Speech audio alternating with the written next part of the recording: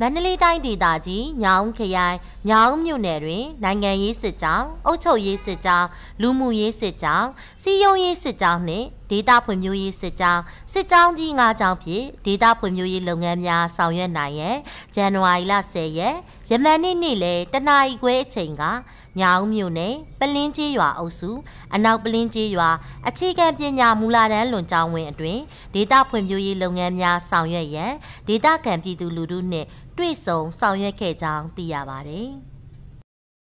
ဒေသခံပြည်သူလူထုနဲ့တွေ့ဆုံဆွေးနွေးကြရာညောင်မြို့နယ်စီမံအုပ်ချုပ်ရေးအဖွဲ့ဥက္ကဋ္ဌဦးနန်းတင်မှဒေသဖွံ့ဖြိုးရေးကိစ္စရပ်များရှေ့လုပ်ငန်းစဉ်9ရက်ဥတီချက်9ရက်တို့အားကြဲကြဲပြန့်ပြန့်ရှင်းလင်းဆွေးနွေးခြင်းနှင့်ဒေသခံပြည်သူများမှလိုအပ်ချက်များတင်ပြတောင်းခံရန်ဆွေးနွေးခဲ့ပြီး မြို့နယ်ကော်မရှင်အတွင်းရေးမှူးဦးကျော်မြင့်အောင်မှရွေးကောက်ပွဲ PR စနစ်နှင့်ပတ်သက်၍ရှင်းလင်းဆွေးနွေးကမြို့နယ်ရဲတပ်ဖွဲ့မှူးယုံရဲမှုအောင်မင်းက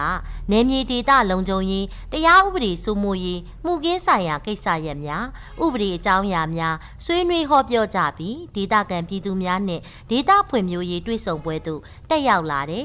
ဒေသခံပြည်သူများ၏တင်ပြချက်များအပေါ် သက်ဆိုင်ရာဌာနများနှင့်ညှိနှိုင်းပေါင်းဆက်ဆောင်ရွက်ပေးခဲ့ကြောင်းသိရပါတယ်။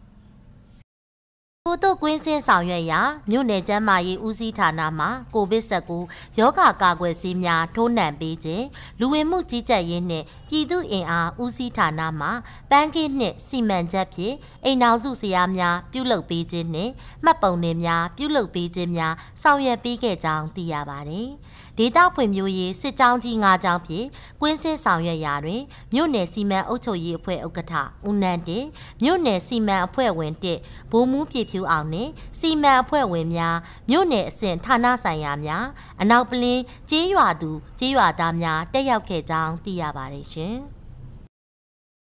ဒီသတင်းကိုညောင်ခရိုင်ပြန်ဆက်မှပေးပို့ထားခြင်းဖြစ်ပါတယ်